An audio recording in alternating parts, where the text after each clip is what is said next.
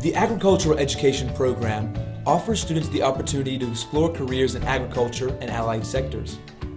Agriculture education students will execute the three-circle model of agricultural education, consisting of classroom and laboratory experiences, supervised agricultural experiences, SAE, and participation in the National FFA organization.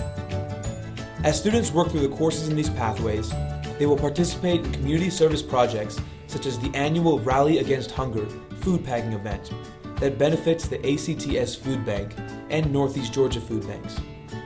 They will also be able to complete pathways. Students will gain skills in forestry, wildlife management, horticulture, landscape, animal and science leadership. Agriculture Education is proud to offer an industry certified horticultural program. Students have the opportunity to participate in the National FFA Organization CTSO.